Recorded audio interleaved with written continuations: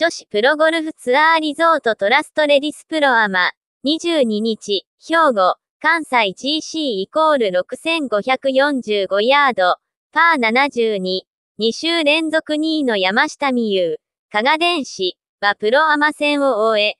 コースの印象を、グリーンの傾斜が強くラフも結構ある、と語った。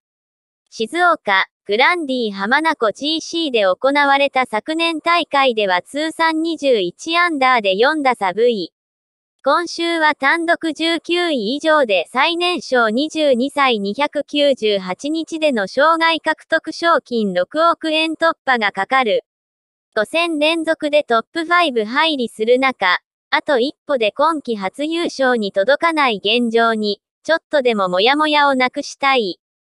勢いがない感じがあるので、ショットもモヤモヤ感をなくせれば、イックスコアが出てほしい、と、今季まだ影を潜めている自身の爆発力に期待した。